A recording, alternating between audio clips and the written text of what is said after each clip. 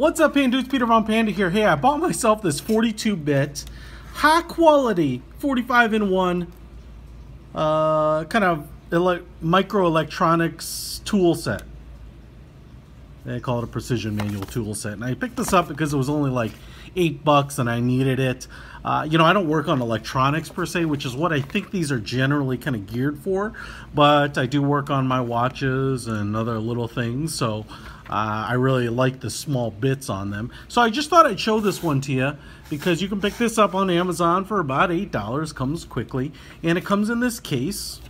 Kind of looks like a, I don't know, like a Game Boy controller.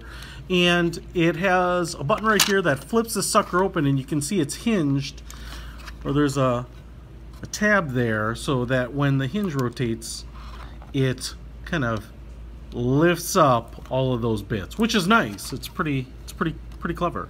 You do get uh, a screwdriver here. The cool thing is this top is on its own little bearing, so you know, if you're holding it down like this and putting pressure on a small screw bit or screw, you can still twist it or tighten it or whatever you need to do.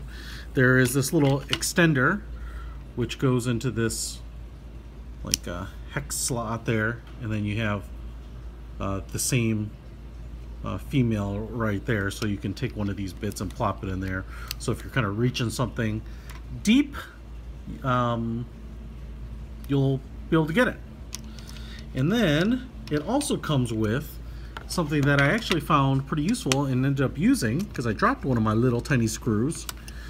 And it comes with these tweezers, which were pretty useful for, especially, so what I ended up doing is I dropped one of the, the screws that I was looking for down here, and I used these tweezers to pull it out. I could have dumped it upside down, but these things aren't in there really securely, so they'll all fall out. So these tweezers were actually pretty nice. Pretty handy, clever, clever. All right, so I just thought I'd show you a couple of the bits here um, because this is what you get. You have kind of the um, the uh, star bits right here, the ones with the hollowed out center. You have um, six-sided like uh, yeah, like a hex tool, like an Allen key type of tool. You have a couple of really small flat flathead uh, screwdriver bits there and some larger ones here. You have assorted sizes in Phillips from small to very small. And then right here you have another Phillips head triangular piece, um, kind of like a pry piece.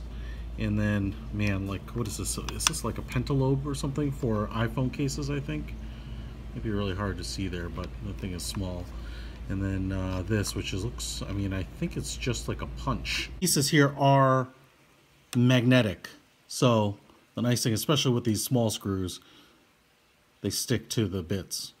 So anyway, pretty impressed with it. Cheap, fast, because it came via Amazon Prime. Pretty nifty. All kind of compresses as you close it back up here. Precision tools. You might need them too. Peter Von Panda out.